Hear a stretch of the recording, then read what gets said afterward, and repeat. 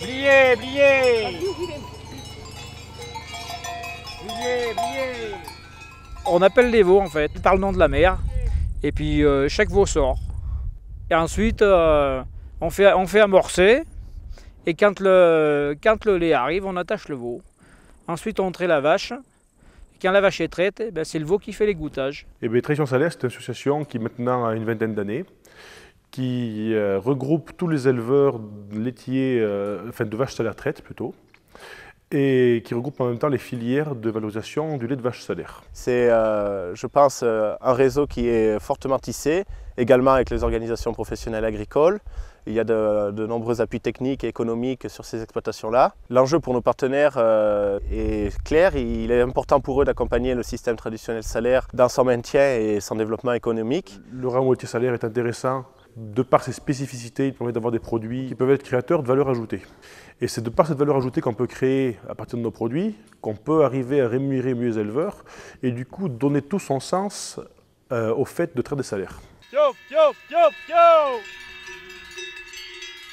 de moi, tout mon parcours scolaire, on a toujours dit mais il est fou, mais qu'est-ce qu'il fait? Il veut s'installer avec la salaire, c'est fini.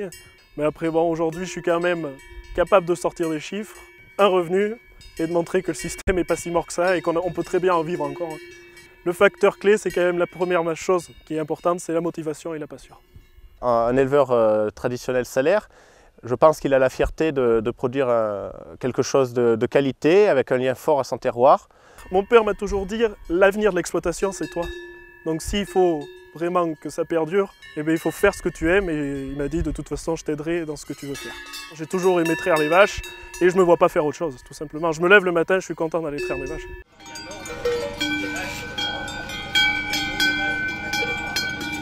J'aimerais bien avoir une exploitation traditionnelle en salaire et m'installer après voilà. Sachant qu'on a certains de nos adhérents qui commencent à penser à passer la main, on, essaye de, mettre en, relation des, jeunes qui seraient intéressés pour s'installer en salaire traite avec des éleveurs qui seraient euh, en âge de prendre la retraite, bien sûr. Il euh, y, y, a de l'avenir dans le métier, puisque je pense que la, la salaire traite aujourd'hui répond à une certaine demande qu'on a dans, le contexte, je dirais, socio-économique actuel. Quoi. Et on a besoin de justement de serrer les coudes face à, à la politique actuelle qui est assez compliquée et qui aurait plutôt un déclin à privilégier des systèmes intensifs qui le nôtre est plutôt extensif mais qui a quand même un, un grand avenir je pense.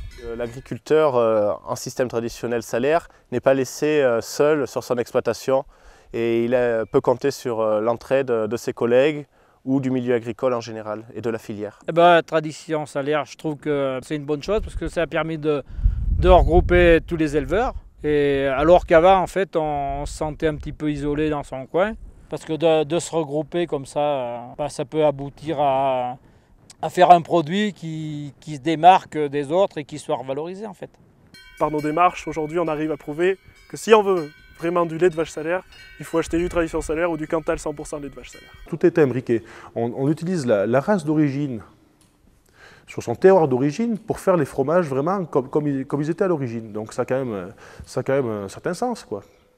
C'est vraiment une race belle qui est, euh, elle vous le rendra de toute façon.